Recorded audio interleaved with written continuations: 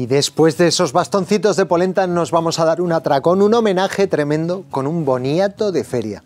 Sustituimos el tema patata con un boniato y el relleno también lo hacemos así un poco americano, con un pulled pork. Vais a ver qué auténtico escándalo de receta, súper sencilla de hacer además. Venga, os decimos los ingredientes.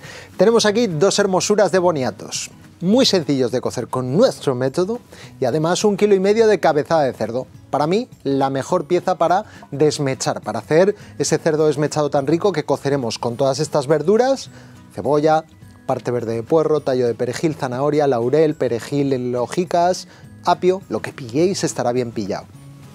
Caldo de verduras y luego por aquí tenemos mostaza, comino, orégano, ajo seco y pimentón ahumado para darle un relajante masaje a esa cabezada.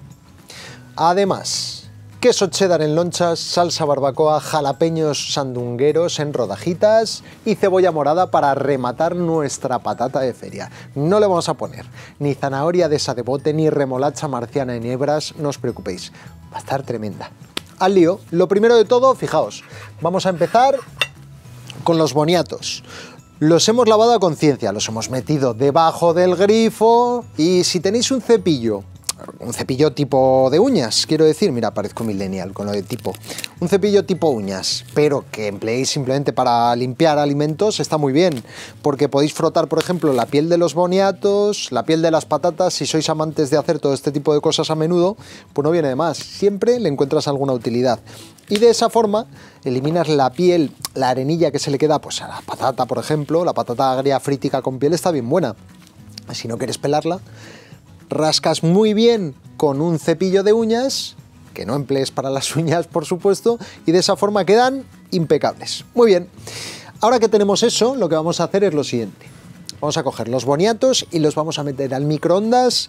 Si fuese uno solo, unos 8 minutitos sería suficiente, pero al estar los dos y ser de un tamaño mediano, esto es un platazo único como una casa, lo vamos a poner 10 minuticos. De todas maneras, cuando salgan, pinchamos con el cuchillo y lo de siempre, ya sabéis, lo que siempre decimos, si pinchas con el cuchillo y luego al sacar la puntilla cae el boniato o la patata, ya están hechos. Y si no, pues aún le falta un minutito, dos o los que sean.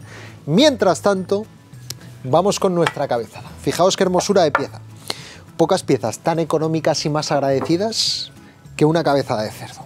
Es una auténtica maravilla. El precio de la cabeza de un buen cerdo de Teruel o de un cerdo duro rondará los 6 euros el kilo, una cosita así, o sea, vamos, y con un kilo come gente. Aquí tenemos un kilico y medio. Lo que vamos a hacer es sal, perfecto, por todas sus partes, no quitamos absolutamente nada, no es una carne nerviosa, como nosotros. Lo que es es una carne que tiene mucha, mucho colágeno y entonces es perfecta para hacer pues esto que estamos hablando. Un pulled pork para cocer, desmechar y que quede jugoso, jugoso y nada seco. Muy bien. Pimienta a tutiplen por ambas caras. Ahí estamos. Ponemos también ajo seco por una cara y por otra.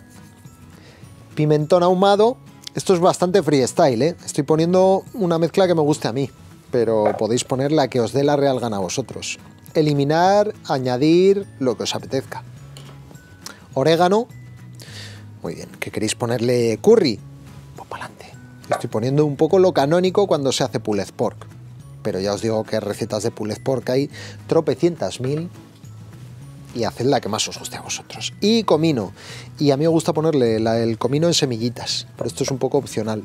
Ya sé que queda mejor repartido cuando está comino molido, pero a mí me gustico encontrarme la semilla de comino, clas, masticar y que explote su sabor poderoso en la boca. Muy bien, y una vez que tenemos esto, vamos a coger por aquí, por aquí, pincelete, ahí estás. Y mostaza americana, mostaza crema, de la de toda la vida y le vamos a dar un pinturete. Le estamos haciendo un tratamiento de belleza a la cabeza, espectacular, está quedando súper cookie. Muy bien, vamos a pincelar esto. A conciencia, que quede completamente embadurnado y lo mejor es dejarlo de un día para otro. 12 horas mínimo, pero vamos, que si tienes mucha prisa, pues oye, para adelante, a la sartencita en caliente, aunque con reposo siempre sale mejor. Venga, pintamos a conciencia y dejamos marinar por lo menos 12 horas.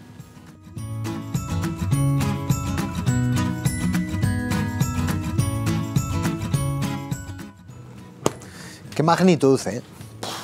Vaya lingotazo de carne maravilloso. Bueno, pues vamos al lío.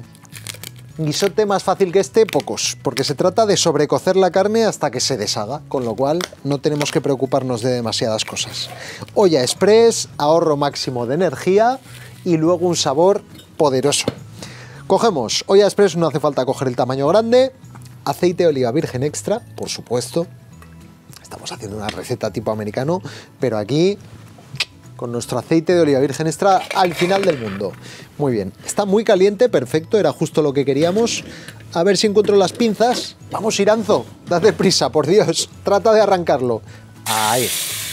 Y ponemos, dejando que se dore la mostaza, la carne y todas las especias que acompañaban a nuestro trozo de cabezada de cerdo.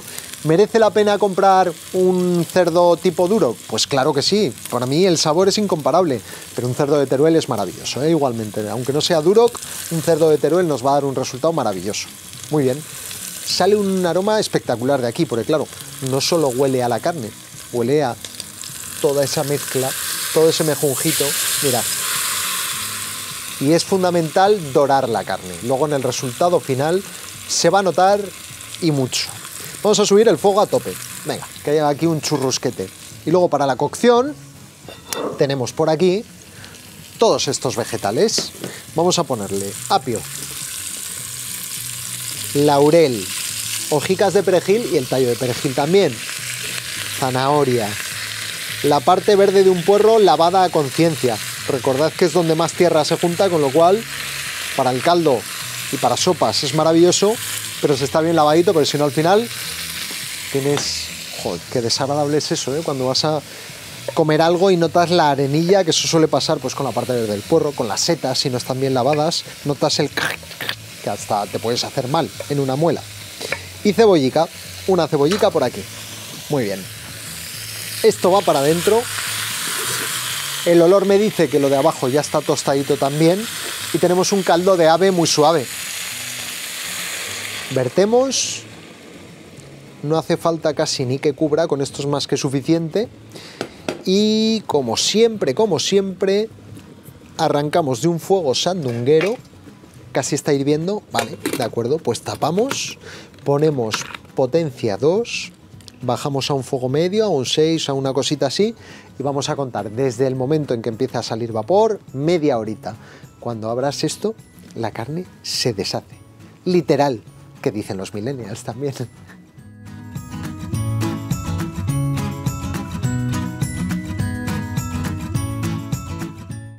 Bueno, pues en la misma olla donde hemos cocido la carne, simplemente retirándolo a pieza de carne, escurrimos todo, el caldito que queda, bueno, es muy fuertote, yo no lo usaría para nada más que para hacer otro pulled pork como este, pero retiramos vegetales y caldo y mirad cómo esto se deshace en maravillosas hebras de placer que hay que comprobar si está bien de sal, de pimienta, de todo.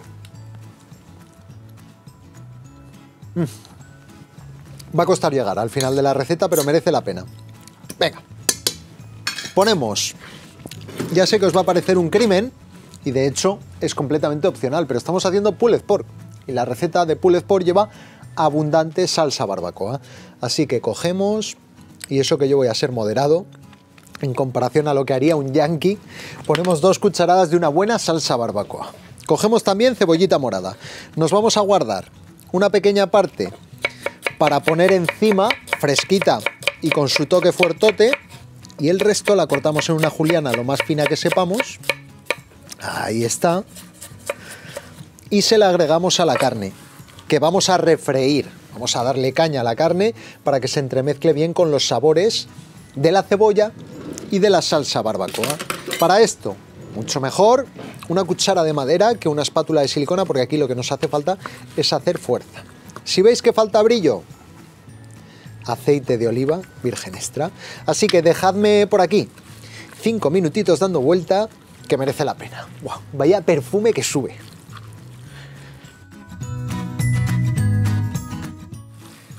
Madre mía, el pulled pork. Qué maravilla, de verdad. Es un auténtico escándalo como está. Vamos a darle toquecicos. En vez de poner el queso por encima, para que funda más fácilmente, lo voy a entramezclar ya directamente. Cojo unas lonchicas, las superpongo y las corto así en bastoncitos, como en fideos. Y de esa manera ya vamos a poner la carne mezcladita con el queso, que si no da mucha rabia que quede queso sin fundir. Ya que ponemos el quesico, pues ya sabéis, que se quede bien entremezclado, que haga hilillos, eso que mola tanto, queda mucho gustico. Queso cheddar, podéis poner en mental, gouda, cualquier queso que se entremezcle y que funda bien, pero aquí lo clásico es poner un buen queso cheddar, color amarillo. Venga, ya empieza a fundir y con el calor que le queda es más que suficiente, así que apagamos fuegos, lo tenemos, vamos a emplatar. Tenemos aquí nuestros boniatos. Aunque lleven cocidos mucho rato, luego les puedes dar dos o tres minutitos más de micro y reviven, o sea, como si estuviesen recién hechos. Por eso os digo que el método del microondas para cocer boniatos o patatas es maravilloso. Abrimos el boniato que no veas cómo quema. Boniato de feria, menuda caña cogemos por acá y vamos a abrir en forma de cuña. ¿eh? Cogemos este cortecito y este otro. Vale, y esto lo retiramos. Ya sabéis dónde va a ir a parar. Nuestro boniato. Vamos a trabajar con cabecita. Vamos a poner por aquí boniato. Y vamos a hacernos sitio y a empezar a rellenar generosísimamente de nuestro pulled pork con ese toque de salsa barbacoa fundamental, ¿eh? Ya lo sé, la salsa barbacoa no es el alimento más sano del mundo, pero por eso precisamente no comemos salsa barbacoa todos los días. Y esta es la maravilla que os decía del queso cheddar. Fijaos, qué hilillos que decía aquel de queso cheddar más maravillosos. Estiramos y mirad. Esto era justo lo que quería. Conseguido. Rellenamos generosamente y hay un toque fundamental al boniato, como es tan dulzón, le sientan muy bien las cosas fuertotas. Así que vamos a poner unos aricos de cebolla morada. Le vamos a poner también jalapeños en rodajitas y sin escatimar lo más mínimo, que cada bocado tenga su jalapeño. Muy bien. Perfecto. Y rematamos, opcional totalmente, pero para mí no puede faltar en esta receta, con un poquito de cilantro fresco. Ahí lo tenemos. No me digáis que este boniato de feria no estaría bien si vais, yo que sé, a Orlando, a Disneyland, pues te pides un boniato de feria y rulas con esto todo el día.